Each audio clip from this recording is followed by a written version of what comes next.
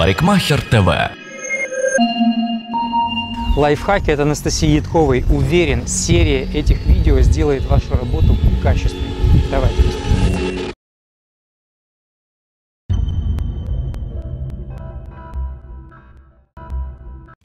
Помните, в предыдущих уроках мы с вами проходили ленточную технику вот таких плоских рельефов.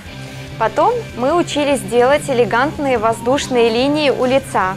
А сегодня я покажу, как можно это дополнить красивым декором из ленточной техники в виде роз. Обратите внимание на то, что мы выделили всю височно-боковую зону и нижнюю часть подкололи к хвосту. Я разделяю прядь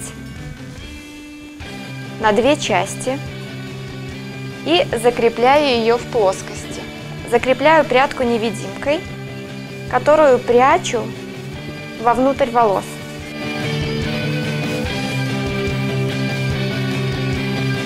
Первые 2 сантиметра я прорабатываю прядь легкой тупировкой. Потом вычесываю верхний слой и прорабатываю лаком с двух сторон. Обратите внимание, что я проработала лаком только 2 сантиметра.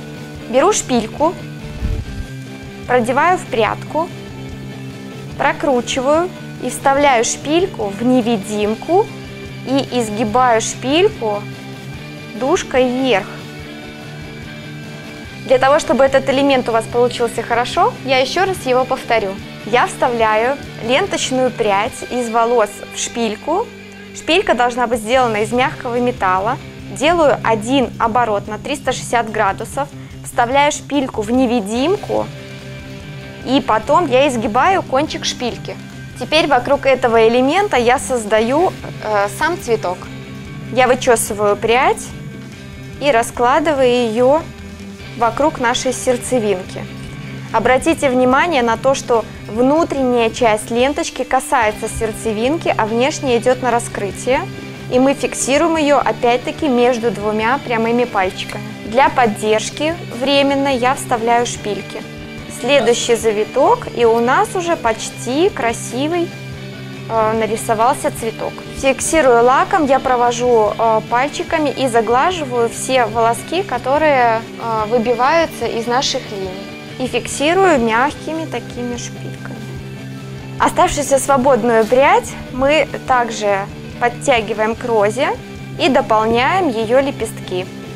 Я слегка растягиваю височно-боковые зоны волос для того, чтобы придать мягкость у лица. И подтягиваю прядку к основанию розы, фиксирую ее там шпилькой. И теперь кончиком этой пряди я дополняю розочку.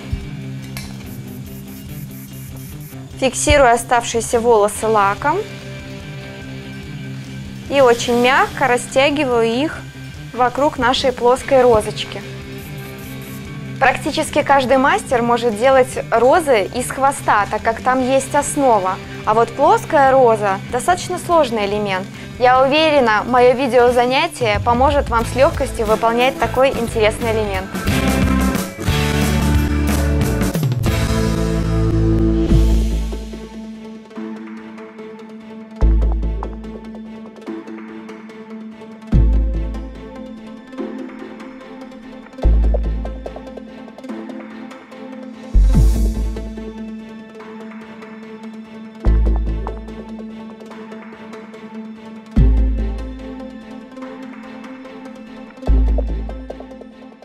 Парикмахер ТВ.